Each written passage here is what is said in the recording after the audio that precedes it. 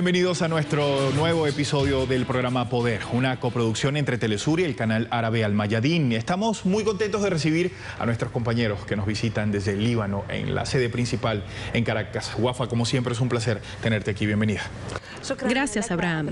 Lo común es que el más fuerte imponga su visión y sus condiciones a los débiles y que exhiba sus músculos e interfiera en los asuntos de las naciones a las que intenta intimidar. Planifica y realiza e inventa excusas endebles. ¿Acaso la ocupación estadounidense a Irak no significó el asesinato de un millón de inocentes promoviendo la mentira de las armas de destrucción masiva? ¿No fue el resultado millones de huérfanos y pobres, el robo del petróleo y la división del pueblo, luego la formación del ISIS. No es Estados Unidos y los países del norte, con la fuerza de la Organización del Tratado del Atlántico Norte, OTAN, quien interfiere en los asuntos de los países del sur, matando de hambre a Somalia, bloqueando a Irán y Cuba, colocando a Ucrania en contra de Rusia y destrozando Libia y Yemen. Apoya a los opositores en los países que no pueden contener y domesticar. Y en caso de fracasar, les hacen guerras alternativas para dividir a sus sociedades desde adentro, cultural, económica, mediática y militarmente. No tienen problema con hacer algún asesinato, bombardeo o ataque aéreo, ni con controlar los precios del petróleo. Así es el doble rasero según los intereses políticos. Es la única potencia que se formó sobre los cadáveres de los aborígenes, para dividir y ocupar los lugares geográficos política y militarmente. ¿No es este el mismo imperio que inventó el caos constructivo y las guerras blandas y duras que controló a las Naciones Unidas y los mercados de consumo y que desestabilizó al mundo para que sus fábricas militares vendieran armas como uno de sus fines estratégicos. Pero además de todo esto, ¿por qué la justicia muere en ojos del diablo, como dijo Chávez? Washington apoya la ocupación israelí en sus varias agresiones contra la Gaza cercada, el Líbano y ahora Siria. Los documentos de Wikileaks revelan el papel de Occidente en la desestabilización, pero vuelve la confianza en enfrentar al altanero con la Unión de las Naciones del Sur, en asociaciones económicas como el BRICS y Shanghái, y la resistencia de países que dicen basta de señores blancos, lo que ha hecho que estos últimos cambien sus estrategias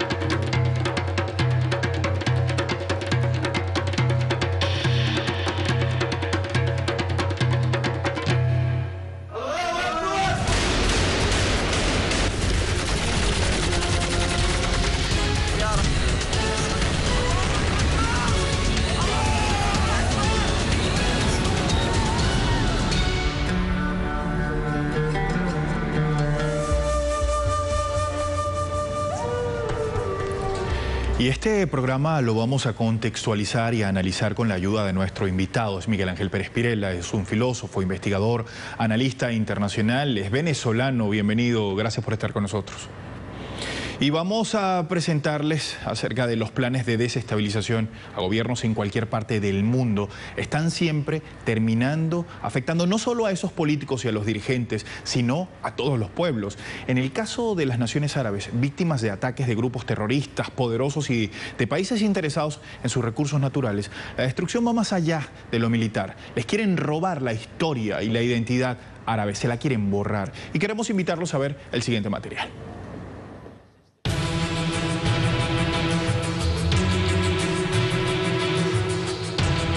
Planificación cuyo proceso es histórico y que busca desestabilizar y crear el caos en las sociedades árabes. Medios y métodos que son utilizados como una especie de guerras alternas. Lo externo utiliza lo interno para penetrar la identidad, la cultura y la historia árabe la violencia y el brutal asesinato, el mercadeo de humanos y de piedras, el uso de las confesiones para crear una lucha sectaria, la pugna entre las religiones y otros métodos de violencia y el objetivo sigue siendo el mismo, dirigir un golpe a las sociedades.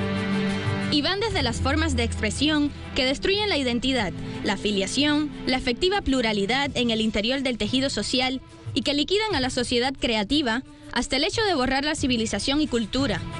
Borrar al otro en el sentido literal de la palabra, incluso de la memoria. El terrorismo destruye las reliquias arqueológicas en la forma de estatuas y de ciudades en Irak, Siria, Yemen y otros, y hace estallar las mezquitas para sembrar la violencia sectaria entre los componentes de un solo pueblo. Palmira, en el centro de Siria y su corazón, se ha transformado de un oasis del arte, del legado patrimonial y de la cultura en un altar para las decapitaciones. El terrorismo secuestra agentes de seguridad en el Líbano y mancilla el prestigio de la vestimenta militar, secuestra monjas y hace estallar iglesias, secuestra y asesina clérigos, coloca la violencia en manos de los niños y en sus expresiones, maneja el juego de los intereses políticos entre los países. Asaltando aquí y maniobrando allá reclutando sin vacilar a grupos internos, a través de los atractivos o de la intimidación, para servir a proyectos foráneos a cambio del dinero, la influencia y la expansión. Carcome sociedades y devasta pasados, presentes y futuros. Entre la decapitación de los humanos y la destrucción de las estatuas milenarias, los sociólogos e historiadores consideran que el segundo es el más peligroso, porque merma la cultura de los pueblos y la motivación para seguir adelante en la historia, y por tanto, borra la memoria civilizatoria del ser humano. El cuerpo social de los pueblos de la región se ha fragmentado. ¿Volverá a ser lo que fue en el pasado? Los expertos responden que las comunidades antiguas, y es una forma de describir a los pueblos de la región, gozan de una inmunidad civilizatoria que siempre resistió y venció los ataques externos en el curso de la historia.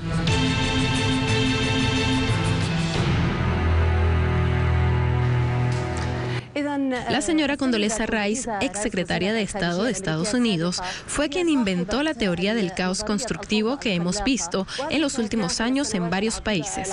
Pero si quisiéramos explicar las razones de la desestabilización mediante los asesinatos y bombardeos y la interferencia en los asuntos de estas naciones, ¿cuáles son los factores que ayudan a esos países regionales a interferir en los asuntos de los países internos o más generalmente los países del sur? Bueno, primero que todo, muchísimas gracias por, esta invitación. Es para mí un honor eh, servir como vos, humildemente, eh, a, un proyecto, una empresa, eh, entre dos áreas fundamentales para la geoestrategia internacional, mundial, como lo son los países árabes y los países latinoamericanos. Eh, ¿Dónde, si nosotros tomamos el mapa mundi, dónde se encuentran principalmente eh, los focos de violencia fundamentales a escala planetaria? Evidentemente en aquellos países que eh, tienen recursos naturales que son estratégicos, sobre todo para una lógica colonialista que cual lógica de Drácula se está quedando ya sin sangre para seguir chupando. Es precisamente esto lo que está, lo que está existiendo, tanto en ciertos países árabes estratégicos, insisto yo, como países latinoamericanos. Eh, yo creo que nosotros estamos no en las puertas de una guerra mundial, yo creo que nosotros estamos viviendo una guerra eh, mundial débil, silenciosa, blanda, a partir de la cual eh, por cualquier, como decían los latinos, eh, causas belis, eh, se, entran a los países y se acaba con su soberanía. Ahora, se está repitiendo de alguna forma lo que existió en el Renacimiento con ejércitos mercenarios. Es decir, ya ni siquiera son ejércitos que están detrás de un Estado-nación que se enfrenta a otro Estado-nación. Y estamos hablando de superpotencias mundiales que podrían tranquilamente enfrentarse a, entre comillas, pequeños países en términos cuantitativos. Ya se están utilizando métodos eh, donde el pago por la creación del caos y por la creación de la violencia se están institucionalizando. Y es el caso de la teoría que tú poco hace citaste de Condoleezza Rice. Si por ahí por los años 70 en, el pueblo chileno, 1973, 11 de septiembre, se institucionalizó la, hoy ya conocida, eh, incluso por la bibliografía, eh, teoría del caos, teoría del caos, teoría del shock, con Pinochet, en estos momentos se está dando la teoría del caos. Y termino con esta breve respuesta que ha sido mencionado en el video. La teoría del caos comienza por borrar no solamente el bienestar social, no solamente sustraer los recursos naturales, sino sobre todo acabar con la memoria histórica de los pueblos. Muy cierto. Tal como en el mundo árabe, también se han llevado a cabo varias operaciones que han sido planificadas por partes estadounidenses o por partes que trabajan por los intereses de Estados Unidos para desestabilizar diversos lugares del continente latinoamericano. Veamos juntos el siguiente informe. Latina, los intentos y golpes de Estado han sido una constante en los últimos años. Una nueva modalidad de desestabilización se impone. Actores como los medios de comunicación o grupos empresarios definen los llamados golpes suaves que tienen de común denominador que han sido perpetrados contra gobiernos progresistas y de izquierda en la región. En 2002, en Venezuela, tuvo lugar un golpe mediático enmarcado en una huelga general convocada por Fede Cámaras, principal organización de gremios empresariales del país y apoyado por una parte de la cúpula militar. El presidente Hugo Chávez fue secuestrado en medio de una ola de violencia. Los medios jugaron un rol político clave y decidieron no informar. Buenos días tenemos nuevo presidente. Más tarde, el gobierno de Evo Morales en Bolivia sería el blanco. En 2008, enfrentamientos internos y actos de desobediencia por la oposición al poder central constituyeron una estrategia autonomista que terminó en un referéndum revocatorio. Las manifestaciones opositoras terminaron con la vida de 30 campesinos y centenares de desaparecidos. 2009 y Honduras se agita. La Asamblea utilizó recursos legales para terminar por deponer al presidente Manuel Zelaya, luego de que las autoridades militares lo mantuvieran detenido en la base de la Fuerza Aérea Nacional. La decisión parlamentaria tuvo lugar el mismo día en el que Zelaya organizaba una consulta de carácter no vinculante. El Congreso y el Tribunal Supremo, aliados en el golpe de Estado, decidieron que la consulta era ilegítima. El mismo libreto fue reescrito en Paraguay tres años más tarde. Un juicio político terminó por destituir a Fernando Lugo. En Ecuador, el 30 de septiembre de 2010, la Policía Nacional decide llevar a cabo una huelga en rechazo a la aprobación de la Ley de Servicio Público que buscaba reordenar los estatutos salariales. En una jornada violenta, el presidente Rafael Correa es retenido. La comunidad internacional calificó el hecho como un intento de golpe de Estado, mientras los medios se referían a un levantamiento policial. En todos los casos, la respuesta de UNASUR fue inmediata y terminante a favor de los gobiernos elegidos democráticamente.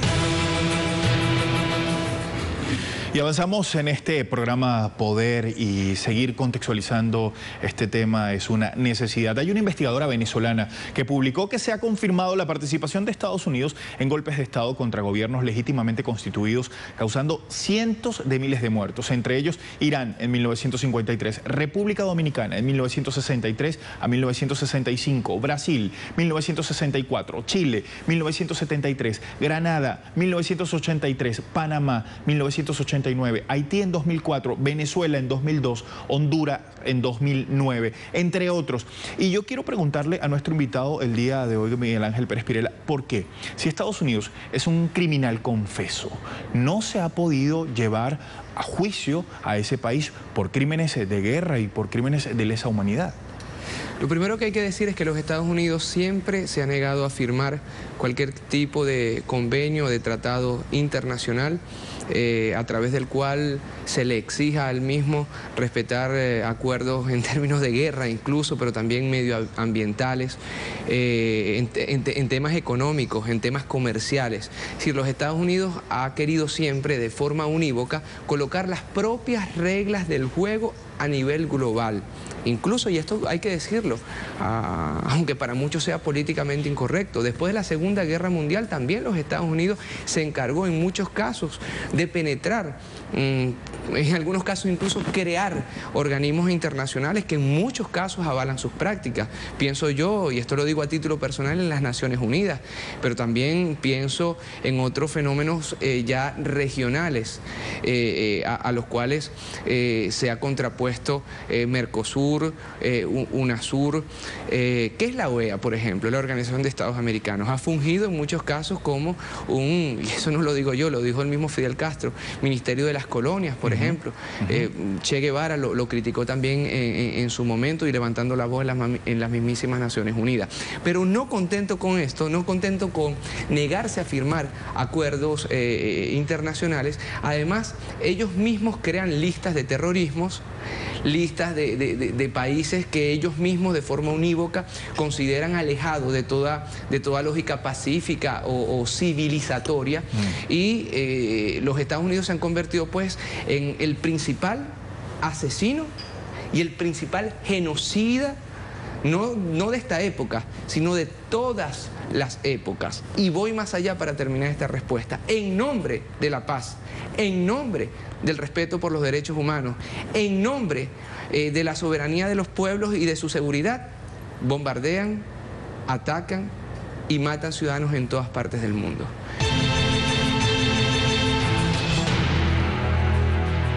Vamos a seguir revisando información que hemos preparado para ustedes en este programa. El Instituto Internacional de Estudios Estratégicos de Londres y el Instituto de Paz y Desarme de Estocolmo en su balance 2015 afirman que Estados Unidos está gastando el 41% del total del presupuesto militar, global y solo en el año 2015 el presupuesto militar fue de 578 mil millones de dólares, de los cuales 18 mil millones están dirigidos al desarrollo de armas nucleares. ¿Por qué eh, de ese esfuerzo desestabilizador se está llevando hacia Medio Oriente? Vean este informe. La ocupación estadounidense en Irak en el año 2013 es el primer caso que nos viene a la mente en relación con los acontecimientos que se hicieron presentes en la región desde la caída de Bagdad en manos de los norteamericanos, momento a partir del cual no ha vuelto Irak a tener estabilidad política o de seguridad para convertirse en una guarida para los takfiristas. A ello se suma la situación económica social crítica de la cual sufren los iraquíes. En el Líbano, el asesinato del ex primer ministro Rafik Hariri en febrero de 2005 constituyó un viraje importante en la vida política y social del país. El atentado ha provocado muchas especulaciones y también acusaciones que causaron una división profunda entre las diferentes partes libanesas. Situación que ha sido acompañada por una serie de acontecimientos de falta de seguridad y asesinatos de varios políticos libaneses arrojando el país en la inestabilidad. En Túnez, Alboaziz se dio candela en diciembre del 2011 y esa fue la chispa que dio inicio a una rebelión enorme en el país y que provocó el derrocamiento del régimen de Ben Ali. Esta revolución parecía ser factible si no fuera por las intervenciones extranjeras y los crímenes terroristas. El anuncio reciente del estado de emergencia por el presidente tunecino actual Al-Sepsi demuestra el nivel de peligro y de inseguridad del país. Lo que comenzó en Túnez pasó hacia la vecina Libia al inicio de 2011. Occidente intervino con sus aviones, Gaddafi asesinado y su gobierno derrocado. A partir de ese momento nunca más Libia ha conocido la calma. Las últimas elecciones y sus resultados fueron objeto de protesta por los perdedores, de forma tal que fueron establecidos dos gobiernos en este país, hundido en el caos militarizado. En Egipto, los egipcios se volcaron a las calles en manifestaciones contra su expresidente Hosni Mubarak, llevándolo a renunciar el 11 de febrero de 2011. Se convoca a elecciones presidenciales y Mohamed Morsi resulta elegido presidente. Morsi al cabo del año de su mandato salió a causa de las manifestaciones en su contra y Abdul Fattah al-Sisi fue elegido presidente, pero el terrorismo estaba ahí presente para aprovecharse del conflicto político entre el gobierno por un lado y los hermanos musulmanes por otro. Incrementó sus ofensivas particularmente en Sinai, desatándose una guerra abierta entre el ejército egipcio y los terroristas hasta hoy. En Siria el comienzo fue en marzo de 2011 con manifestaciones diversas en reclamación de reformas constitucionales para convertirse luego en actos terroristas llevados a cabo por grupos extremistas cuyo objetivo es arrebatar regiones bajo control del Estado sirio. El país quedó sumergido en una guerra en la que contribuyeron varios estados, causando a Siria una gran destrucción y amenazando la estabilidad de toda la región, incluyendo al Líbano que ha sido a su vez blanco de numerosos actos terroristas. Esta situación llevó a la resistencia libanesa a lanzar una ofensiva preventiva contra los grupos terroristas existentes en la frontera con el Líbano. A Yemen llegó el fuego de los acontecimientos dramáticos que azotaron al mundo árabe. Manifestaciones contra el expresidente yemenita Ali Abdullah Saleh se iniciaron también en el año 2011, algo que llevó a los estados del Golfo a presentar una iniciativa para la solución del diferendo, la cual fue rechazada por la ira del pueblo que rehusó cualquier solución proveniente desde el exterior. Los acontecimientos se desarrollaron hasta la celebración del diálogo entre las diferentes partes yemenitas en aras de sentar las bases del futuro político del país, pero la guerra saudita contra Yemen y su ejército asesinato hizo detener cualquier progreso a ese nivel. Sería injusto decir que las rebeliones árabes fueron causantes del caos, ya que en la esencia de esas revoluciones estaba el pueblo que no deseaba más que sus reivindicaciones, pero la vulnerabilidad de los estados árabes abiertos a los servicios de seguridad extranjeros por una parte y la insistencia constante de Israel de debilitarlos por otra, causaron que el caos reinara en la mayoría de los países de la región. Miguel, partiendo de lo mencionado por mi colega Alit Sayed, ¿cómo pudieron esos grandes países regionales interferir y aprovecharse de los movimientos por el cambio que llevaron a cabo los pueblos árabes para desestabilizar a estos países y dividir a las naciones mediante el fomento de las discordias sectarias y doctrinarias, además de las discordias nacionales, como hemos visto en Túnez, el Líbano, Egipto, Yemen y varios otros países árabes?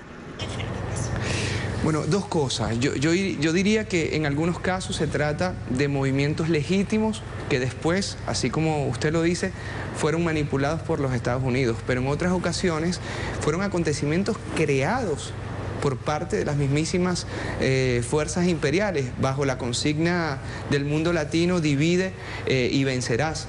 Eh, eso que está pasando en muchos casos en países árabes ha sido extrapolado en América Latina en algunos casos y en otros casos los primeros experimentos eh, de guerras que se crearon, de desestabilización que se crearon en países árabes fueron eh, eh, utilizados en Latinoamérica, que en muchos casos ha fungido como, como laboratorio.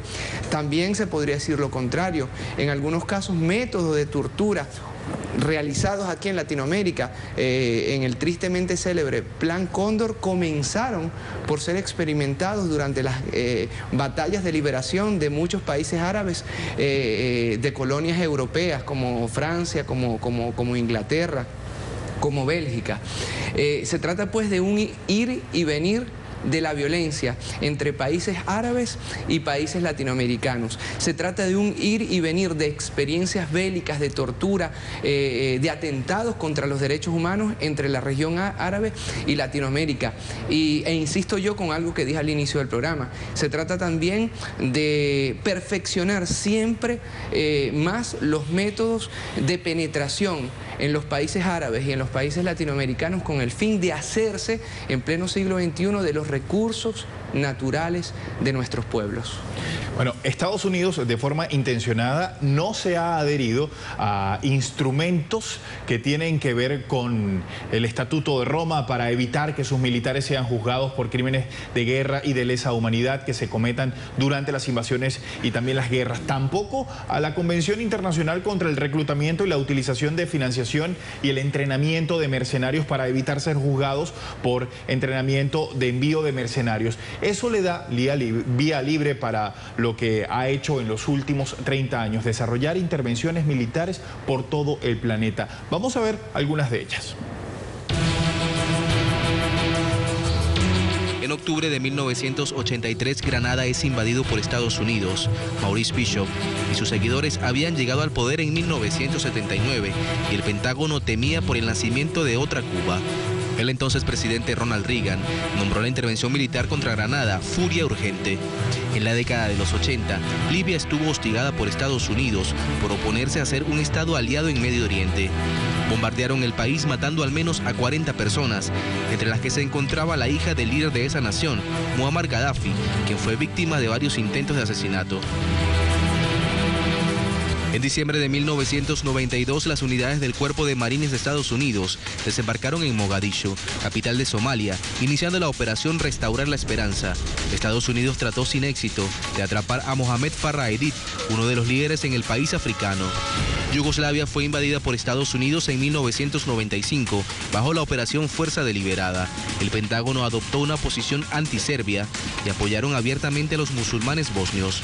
Luego, en 1999, Washington interviene militarmente de nuevo el país con el pretexto de una intervención humanitaria. La capital de Yugoslavia, Belgrado y otras ciudades del país fueron atacadas con cohetes y con bombas. Un ataque militar unilateral de Estados Unidos contra Afganistán y Sudán se llevó a cabo en 1998. Lanzan la operación Alcance Infinito. Atacaron con misiles de crucero los campos de entrenamiento de milicianos de Al Qaeda en Afganistán. También se lanzaron misiles contra una fábrica farmacéutica en Sudán, que según las autoridades estadounidenses se habían utilizado para producir armas químicas.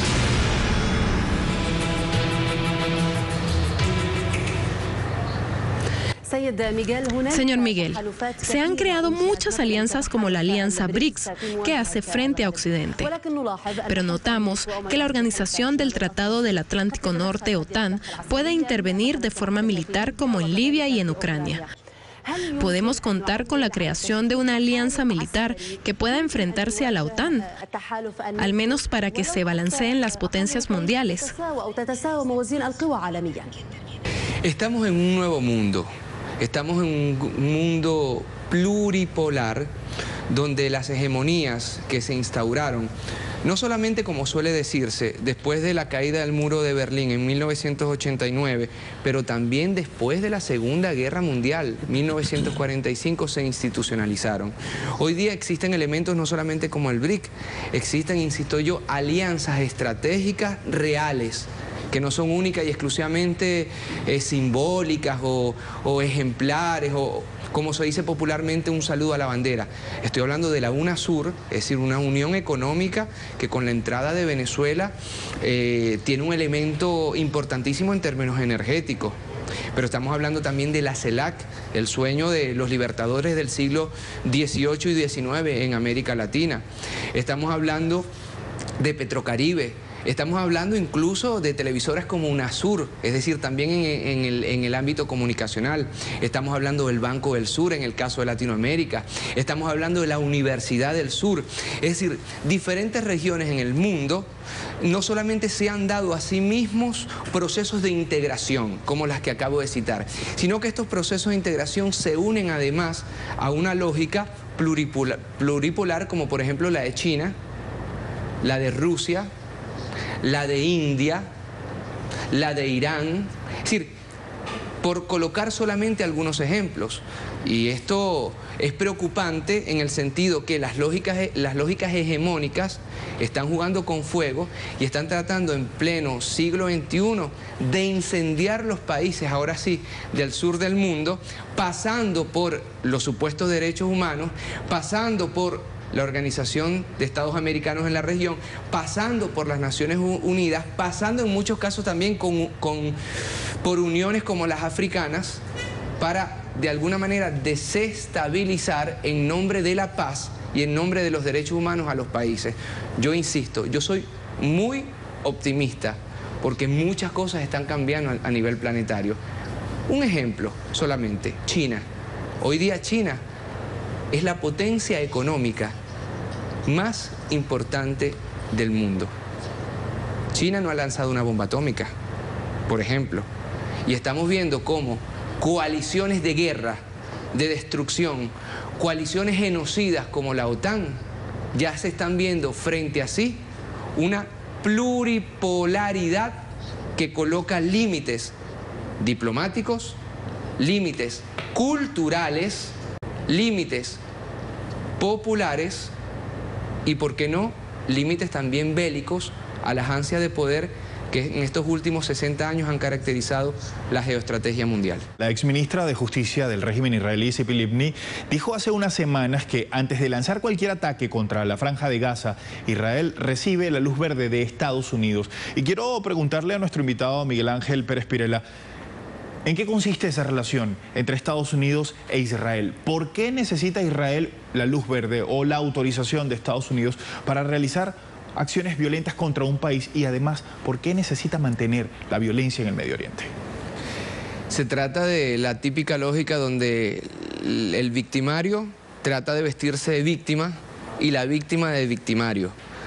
Fenómenos contemporáneos, yo insisto, en pleno siglo XXI con todos los avances tecnológicos, con dos guerras mundiales encima de nosotros y de la historia contemporánea del planeta Tierra, ¿cómo es posible que existan lógicas como la que en estos momentos se están planteando contra el Estado de Palestina? En nombre de la civilización, además. Es decir, se trata de la barbarie y de la coalición más bárbara que ha conocido la historia contemporánea. Finalizamos este programa del día de hoy. Gracias, Miguel, por estar con nosotros. Bueno, gracias a ustedes por haberme dado esta grandísima oportunidad de hablarle a dos regiones de futuro, de esperanza, de optimismo, de paz y de democracia, como es la región árabe y la región latinoamericana. Muchísimas gracias. A ti, Guafa, y a todos los compañeros de Almayadín, gracias por estar aquí.